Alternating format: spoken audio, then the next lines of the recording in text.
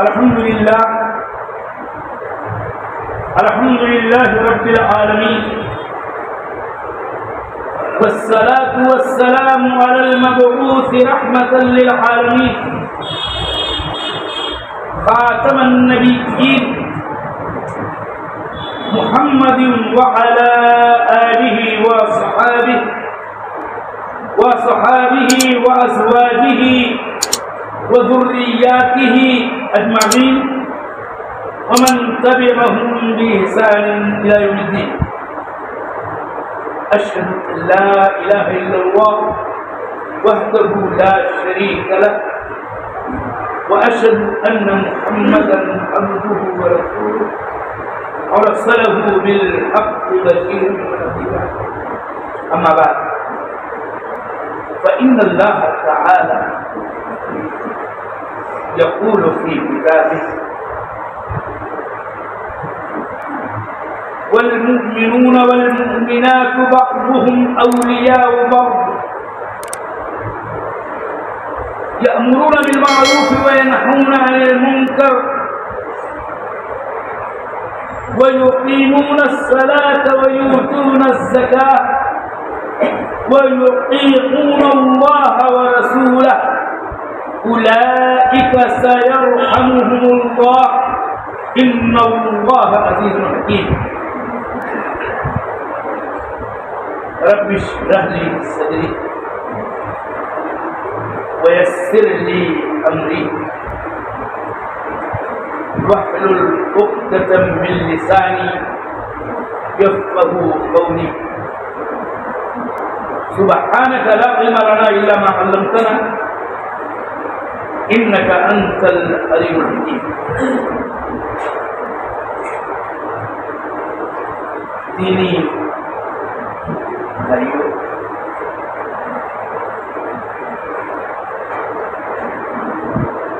اور تمام حاضرین متبعما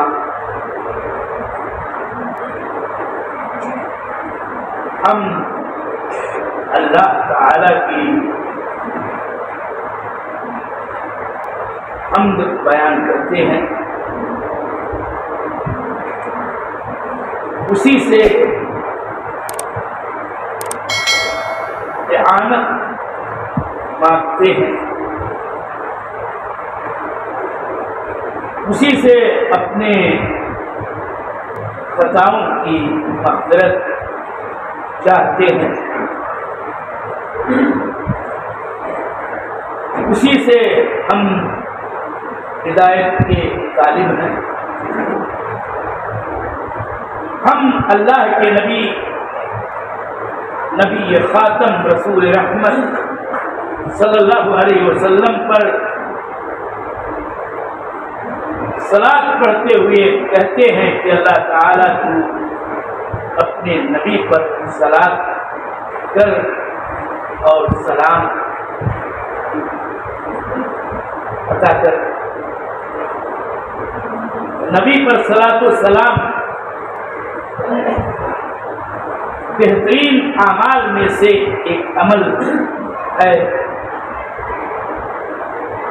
جس کی بڑی اہمیت ہے اور بالخصوص جمعہ کی رات میں اور جمعہ کے دن۔ بکثرت سلاۃ السلام النبی، نبی پر سلاۃ السلام کا اہتمام کرنا چاہیے۔ اللہ کے نبی صلی اللہ علیہ وسلم نے ایسا فرمایا ہے۔ اور اس کے اجر الثواب بہت ہیں۔ ان میں سے ایک ہی بات اگر علم میں باقی رہے اور اس کے مطابق عمل رہے، کہ اللہ کے نبی صلی اللہ علیہ وسلم کی امتیوں میں سے اہل توحید گنہگار ہو تو بھی۔ انہیں شفاعت کا زیادہ حق حاصل ہوگا جو اللہ کے نبی صلی اللہ علیہ وسلم پر کثرت سے سلاد درود، کثرت سے سلام بھیجنے والے رہے میں آج کے خطبے جمعہ قرآن پاک کی ایک آیت کریمہ کو بنیاد بناتے ہوئے جو سورہ توبہ کی ہے، میں نے ابھی دوسرے خطبے میں ہم سلاد اور شہادتین کے بعد آپ کو پڑھ کے سنائی۔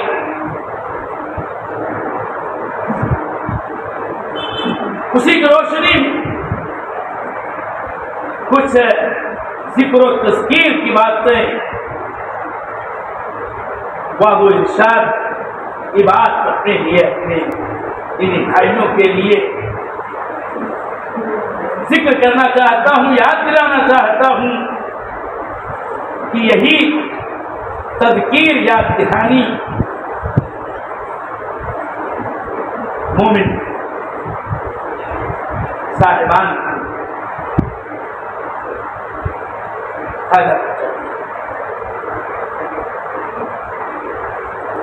اس سے پہلے کہ میں آیت کریمہ کا ترجمہ کروں ایک بات یاد رہے کہ ایک لفظ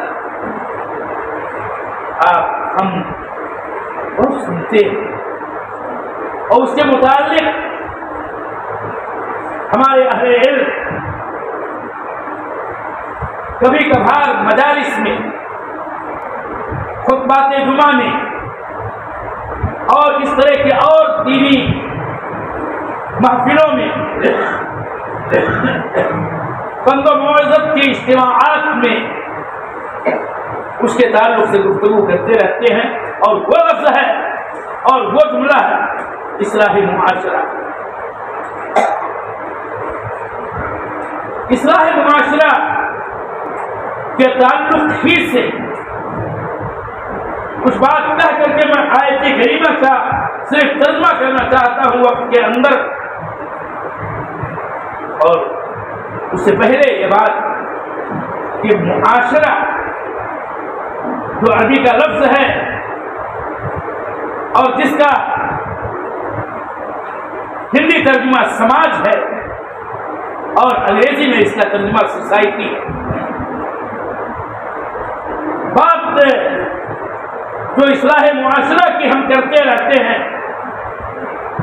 اور وہ کی باتیں ابھی رہنے دیجیے ہم تو اپنے دینی، اسلامی بھائیوں اور اس طرح سے کہیے مسلمانوں کے معاشرے کی بات کرنا چاہتے ہیں اور اس طرح سے مسلم معاشرہ جہاں مسلمان بس رہتے ہیں۔ ساتھ ساتھ جیتے ہیں۔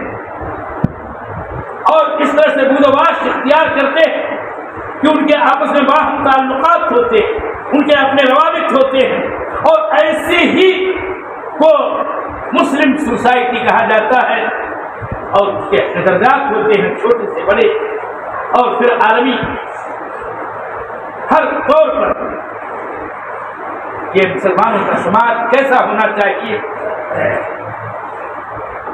اور اس کو کن بنیادوں پر ہونا چاہیے؟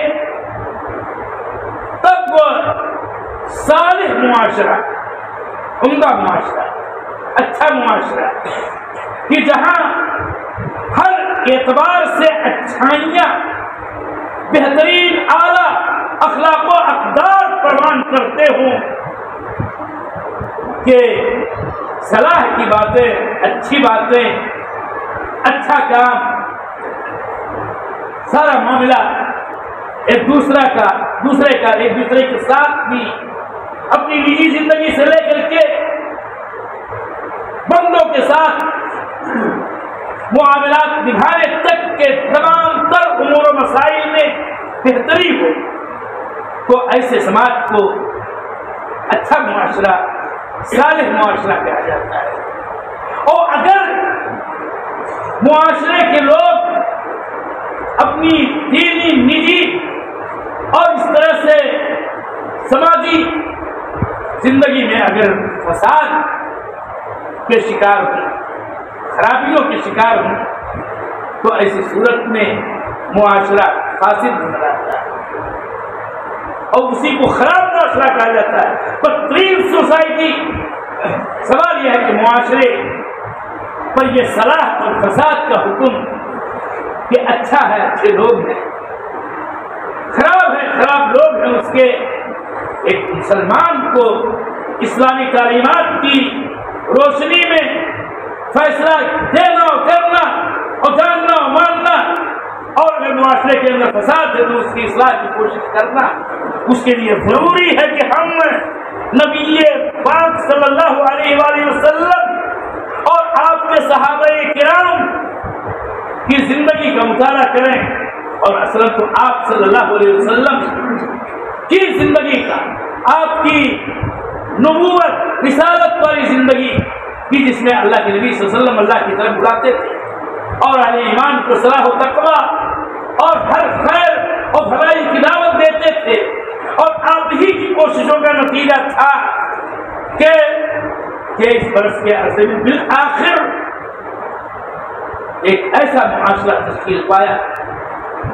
ایک ایسا سماج بنا ایک ایسی سوسائٹی دنیا کے سامنے آئی کہ اس سے بہتر سوسائٹی کوئی ہو ہی نہیں سکتی ہے، یہ بھی تاریخ عالم کا یہ ایک سچا واقعہ ہے کہ نبی مکرم صلی اللہ علیہ وسلم نے اپنی مکی زندگی سے لے کر کے مدنی زندگی تک اور مدنی زندگی ہی میں اس سارے معاشرے کی عملی شکل اچھی طرح سے سب کے سامنے آ چکی تھی۔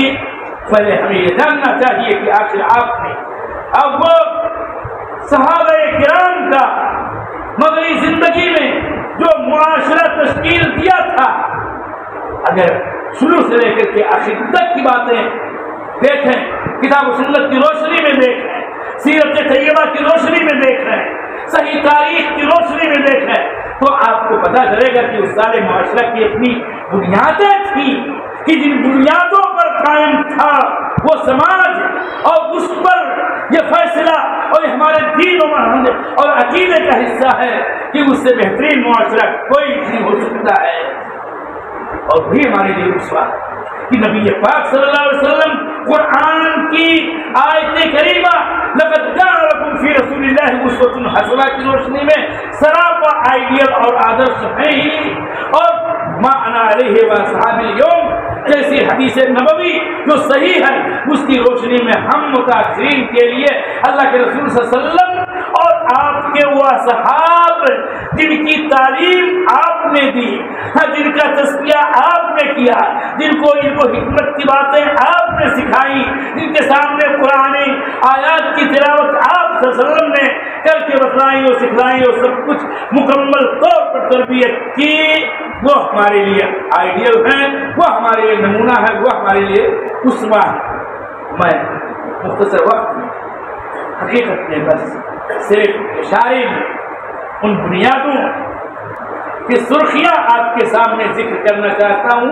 اور اگر وہی بنیادیں اور وہی بنیادوں آپ کے جو لازمی تقاضے ہیں، اگر وہ ہماری زندگی میں ایک مسلمان اور ایک مومن کی حیثیت سے آ رہے ہیں اور سماج کے ہر ہر فرد میں وہ بنیادیں پائی جا رہی ہیں تب تو ایک ایسا معاشرہ سامنے وجود میں آ سکتا ہے، جس کو صالح معاشرہ کہا جاتا ہے۔ لیکن اگر اسی بنیاد ہی میں تسلسل اور وہی بنیادیں اگر منہدم ہو جائیں، تو پھر ایسی صورت میں فساد ہی والا معاشرہ کہلائے گا۔ اور ایسے ہی میں کوئی ضرورت پیش آتی ہے کہ اصلاح معاشرہ کی گفتگو کی جائے۔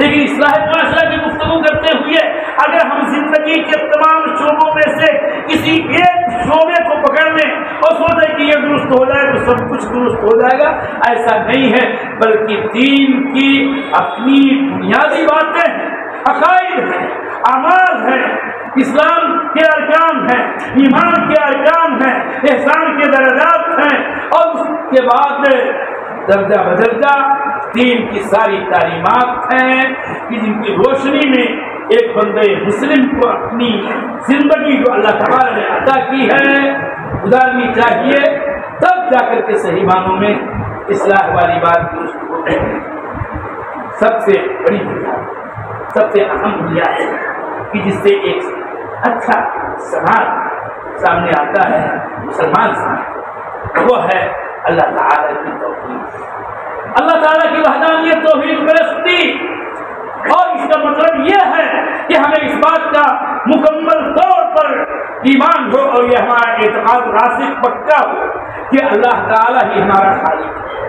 اللہ تعالیٰ ہی ہمارا رازق ہے اور اللہ تعالیٰ ہی ہے کہ جس کی تنہا ہمیں عبادت کرنی چاہیے کہ اس کے علاوہ کوئی قابل اور لائق عبادت ہرگز ہرگز نہیں ہے۔ یہی توحید۔ اور آپ کو اس بنیاد کی اہمیت کا اس سے اندازہ ہو جانا چاہیے۔ اگر آپ معمولی بھی پڑھے لکھے ہیں، تو آپ اردو میں نبی پاک صلی اللہ علیہ وسلم کی سیرت ہاں کا مطالعہ کیجیے اور اس طرح سے یہ اسلامی سبق آپ پائیں گے کہ اللہ کے نبی صلی اللہ علیہ وسلم پر قرآن عظیم کی آیتیں مکہ کے اندر اترنی شروع ہوئی اور اترتی رہی۔ اور تقریباً تیرہ سال تک آپ صلی اللہ علیہ وسلم مکہ کے اندر رہے اور اس میں سب سے زیادہ اہمیت اپنی دعوت کے سلسلے میں اسی توحید پر مرکوز کیا اور آپ ہی کے لفظوں میں کہ یا جو سکون لا الہ الا اللہ تو لوگوں، لا الہ الا اللہ کہو، کامیاب ہو جاؤ گے۔ اور لا الہ الا اللہ کہنے کا مطلب یہی تھا، اس شرکیہ معاشرے میں کہ جہاں نہ جانے کتنے معبودان غیر اللہ کی اور اپنے ہاتھوں ہی سے کہے ہوئے اور بنائے ہوئے معبودان باطلا کی پرستش کیا کرتے تھے، اس معاشرے میں آپ نے یہ پیغام دیا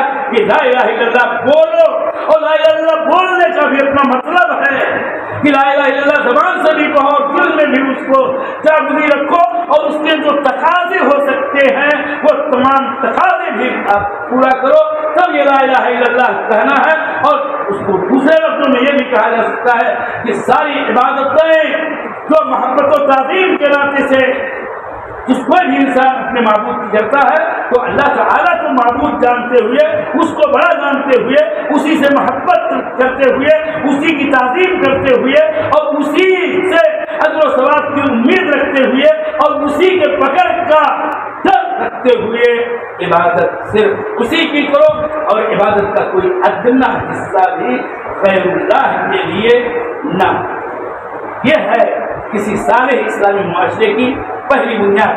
اور اس بنیاد کو لے کر کے آپ ہم اپنا، اپنے کیش و عقائد، اپنے مسلمان بھائیوں کا، اور اس طرح سے دیگر تمام کلمہ کو اور شہادتین کے بولنے والوں کا جائزہ لیں۔ اور توحید خالص کے جو قرآن سنت کے دروس ہیں اور اس تعلیمات قرآن کی آیات احادیث نبویہ کے فرمودات ہیں، رسول اللہ صلی اللہ علیہ وسلم کے ان کی روشنی میں اگر دیکھیں تو بات وہی آئے گی کہ رب انہن ابرن کثیر من الناس۔ نہ جانے کتنے معبودان غیر اللہ ہیں کہ جنہوں نے بہت سارے لوگوں کو گمراہ کر رکھا ہے اور لوگ توحید خالص چھوڑ کر کے شرک اور شرک کے نہ جانے کتنے چھوٹے بڑے ادنا سے لے کے اعلیٰ تک کے مظاہر میں اور اس کے اشکار کے اندر گرفتار ایک بات اور میں کہوں ان شاء پھر کبھی موضوع کی تکمیل ہاں اشاروں میں کی جائے گی۔ دوسری بنیاد، اگر آپ دیکھیں تو اہل ایمان، اہل اسلام کے لیے سب سے اہم ترین جو درس کتاب سنت میں دیا گیا تھا، اور جس سے ایک سارے معاشرہ حقیقت میں تشکیل پایا اور تبھی تشکیل پائے گا جب وہ چیز ہوگی اور وہ جوہر سماج کے افراد میں پائی جائے گی۔ اور اس کو میں مختصر لفظوں میں یوں کہہ سکتا ہوں کہ اللہ اس کے رسول کی اطاعت۔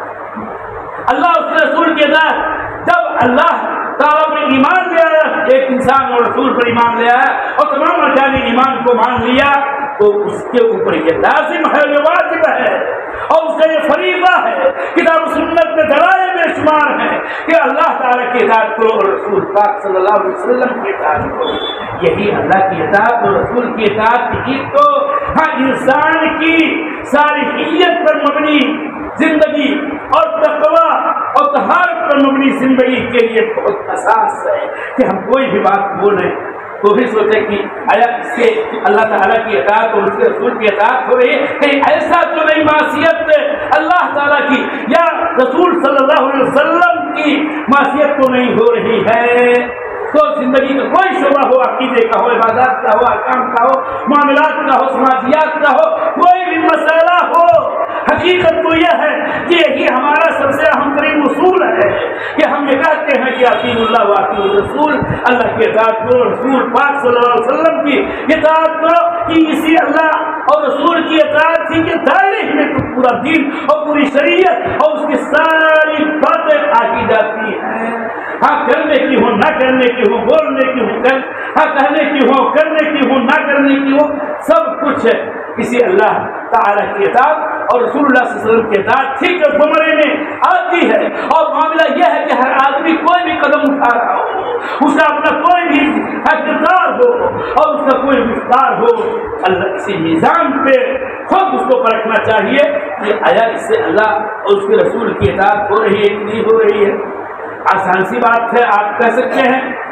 اس کو سمجھنے کے لیے کیا اللہ تعالیٰ کا یہ حکم نہیں ہے کہ اپنی مسرت اس بات سے کہ اللہ کا حکم ہے، اللہ کا امر ہے، آدر ہے۔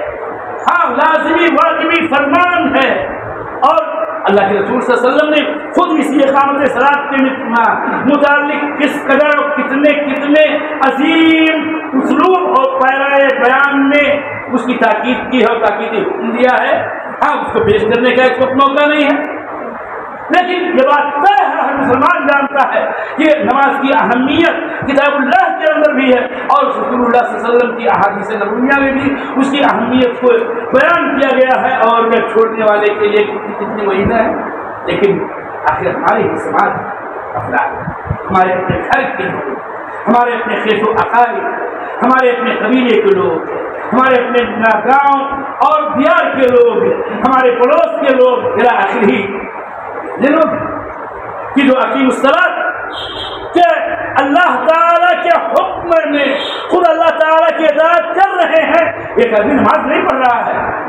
اس کو اپنے آپ کو اس مقام پہ رکھنا چاہیے۔ اور سوال کرتے ہوئے کہ کیا میں مومن ہوتے ہوئے، مسلمان ہوتے ہوئے، اسلامی سماج کا فرد ہوتے ہوئے کیا اللہ تعالیٰ کی اجازت کر رہا ہوں یا نہیں کر رہا ہوں؟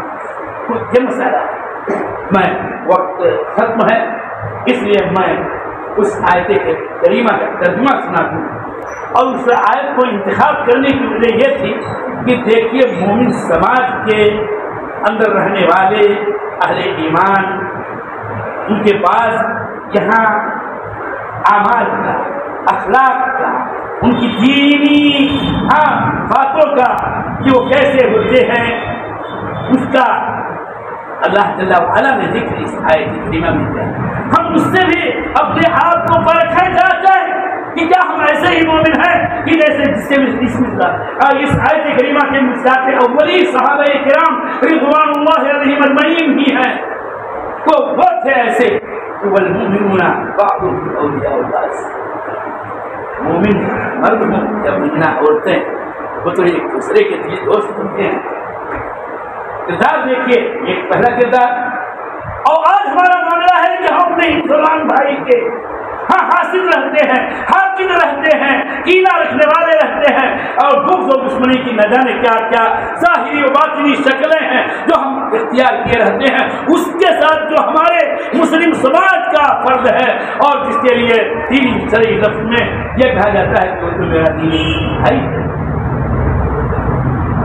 یا مرون ابل معروف وہ ہونا کا خالی ترجمہ کر رہا ہوں وہ ایک دوسرے کو بھلائی کا حکم کرتے ہیں برائی سے روکتے ہیں کہاں گیا چلن اور یہ امر بن معروف رہے منکر کا فریبہ انجام دے رہا ہے۔ یہ سماج کے ہر مومن، ہر مسلم فرد کو حتیٰ کی مرد ہو، عورت کو ہر ایک اپنے اپنے دائرے میں ان کو یہ بھلائی کا حکم اور برائی سے روکنے والا کام کرتے ہی رہنا تھے وہ یقین منصرہ ہے اس لیے اسلامی سماج کے افراد، مومن مرد ہو یا مومنہ عورتیں ہوں، وہ نماز قائم کرتے ہیں۔